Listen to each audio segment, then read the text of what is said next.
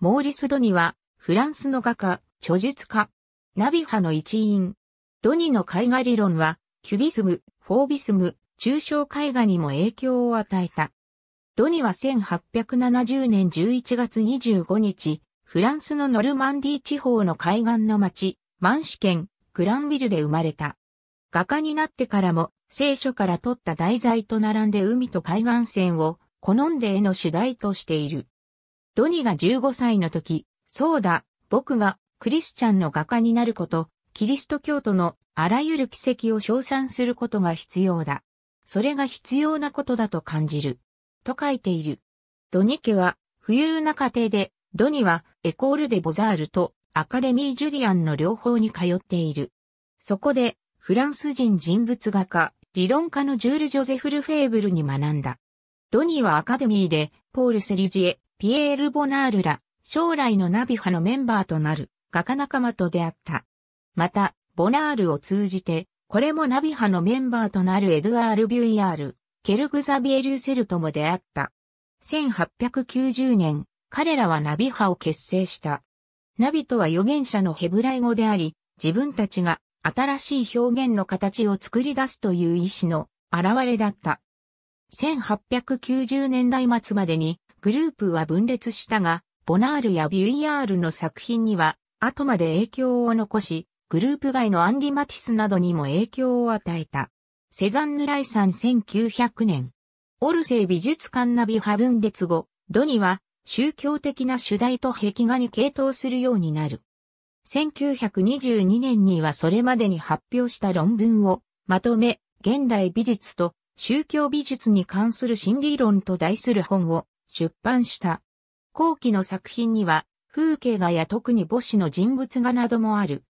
しかし、ドニの主要な関心は、宗教的な主題に向けられ、そのことは1931年に国際クリスチャン労働組合連盟の発注を受けて、ジュネーブのセンターウィリアム・ラッパルトの階段に飾られた労働の尊厳にも見られる。ドニは最も早く絵画の平面性に注目した画家の一人である。このことはモダニスムの出発点であるとも言える。1890年に発表した新伝統主義の定義という論文で、絵画が群馬やラフや何らかの逸話である以前に、本質的にある順序で集められた色彩で覆われた平坦な表面であることを思い起こすべきであるという有名な言葉を残している。この絵画における平面性の追求は、ポンタベンで共に過ごしたゴーガンの総合主義やセリジュエの抽象画からの影響がある一方で、ドニもその平面性を装飾性へと発展させていった。1898年、ドニは芸術の源泉は画家の個性にあるという制作の理論を発表した。芸術作品を創造するものは画家の力であり、意志である。と言っている。第一次世界大戦後の1919年にドニは、ジョルジュ・デバリエールと共に、教会と近代文明とを和解させるという潮流の一環として宗教美術アトリエを結成した。このアトリエでは特に戦争で破壊された教会のために制作を行った。ドニーはアカデミズムについて、しきたりと小手先の技術のために上官を犠牲にするものであるから、これに反対すると言い、また、写実主義については三分であって、彼の求める音楽がないから、これにも反対すると言った。何よりも、ドニは神聖に付属するものとしての美を追求した。